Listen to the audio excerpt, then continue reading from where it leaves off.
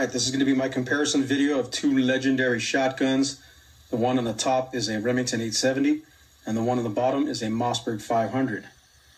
I know there's a lot of reviews out there on these two shotguns, but there's not a lot of videos out there that actually compare these two side by side.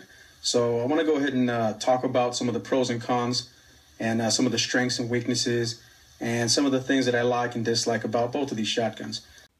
Okay, boys and girls, what you're looking at is a recent purchase of mine to replace one that I had stolen a number of years ago. That is a Mossberg 500 Flex 12 gauge shotgun. The Remington 870 and the Mossberg 500 are the stalwarts of the industry.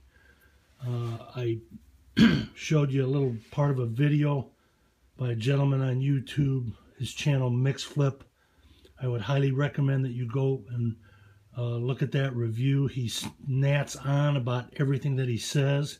He goes over advantages and disadvantages. A lot of it's personal preference, but he's right on as far as I'm concerned. Um, this shotgun is uh, also, you can convert it to a home defense. Uh, the barrel changes out. That's a 26 inch barrel with a ventilated rib and I'm going to purchase an 18 or an 18 and a half inch barrel for uh, home defense.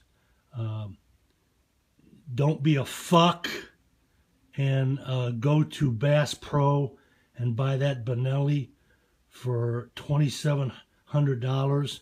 I think there's a lot of other things you could spend your money on.